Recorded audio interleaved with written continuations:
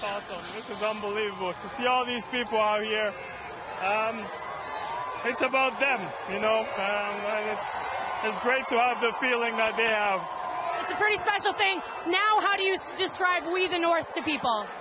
Uh, we the North is all over the world now. Yeah, this is the center of a global stage, and it's something we wanted to do. Um, we can attack the world from here, and we really believe that. And we're gonna do it through basketball.